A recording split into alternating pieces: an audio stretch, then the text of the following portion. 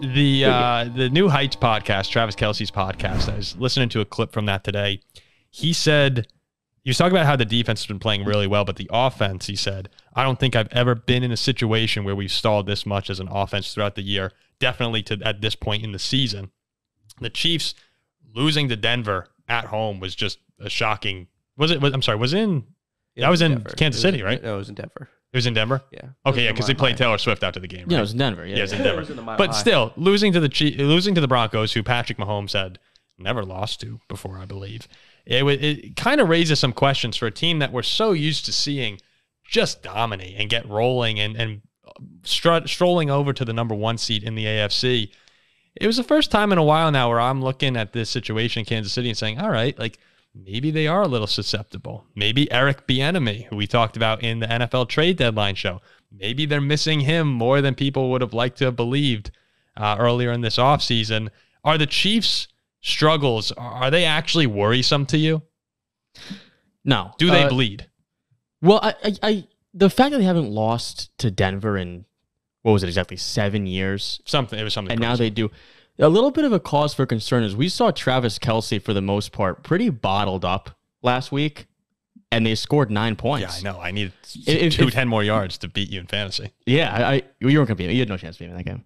Uh, but if if it's not coming from Travis Kelce, if he's not having a, a generational day, where is it going to come from? And I trust Pat Mahomes and Andy Reid and this team to bounce back at least offensively and not to lose two games in a row. Something's got to give because this is a team who's won 13 November games in a row, and the Dolphins are 11 and one in the last 12 November games. Someone's got to give here.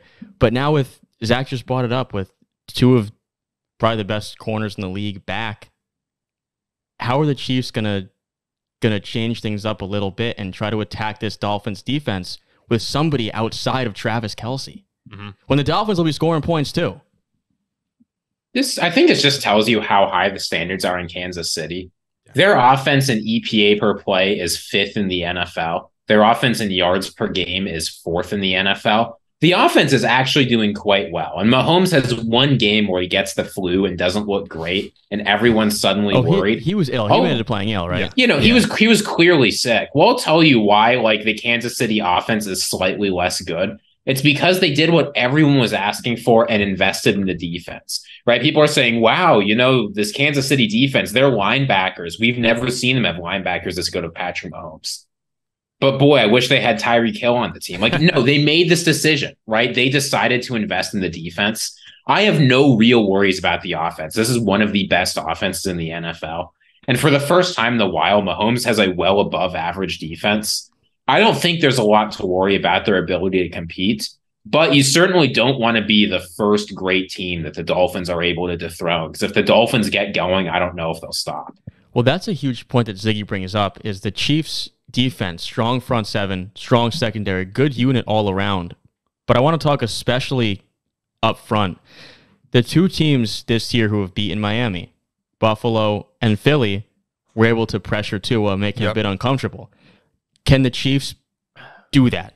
And if they can't and Tua has time, he will eventually pick Kansas City apart. It's huge what they can do up up front in the front seven against Tua. Just The- putting it out there, Tua doesn't need time. He's got the fastest release time. In the He game, does. so- He does. I mean, the guys, I Eagles think and- the numbers right. Two point three six seconds per, per Yeah. throw um, for Tua. Yeah, the Eagles and Bills mauled him. He was then- uncomfortable. Whoa, whoa, whoa, don't you say get- mauled.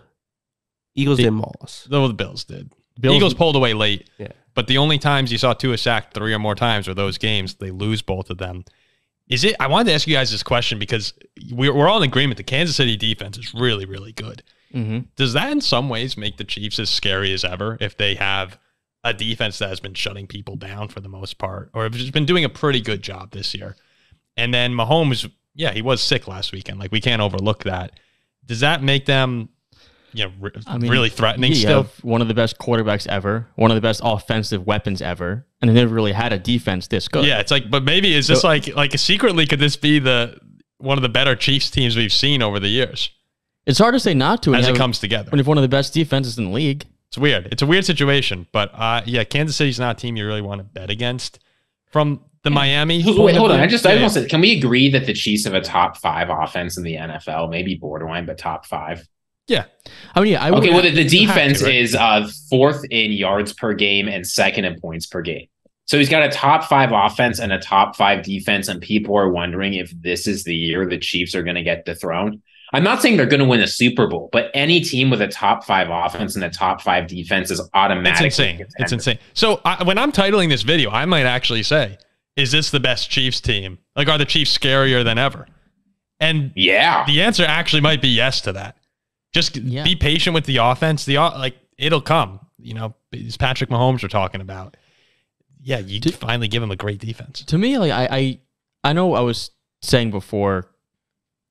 I was saying why I would show a little bit of concern if I was on that side, but to me, there really is none. To me, it was Well, a- no, no, I thought you were right though because when Kelce, when you shut down Kelce, at times if Pacheco can't get going, like you know, guys don't always make plays on this offense. So you you rely heavily on Mahomes making magic, and that is a, that it should be a concern.